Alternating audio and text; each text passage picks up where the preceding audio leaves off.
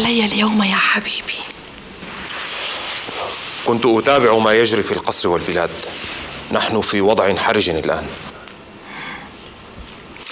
آه لم تعد تخبرني شيئا مما يدور حولك هذه الأيام.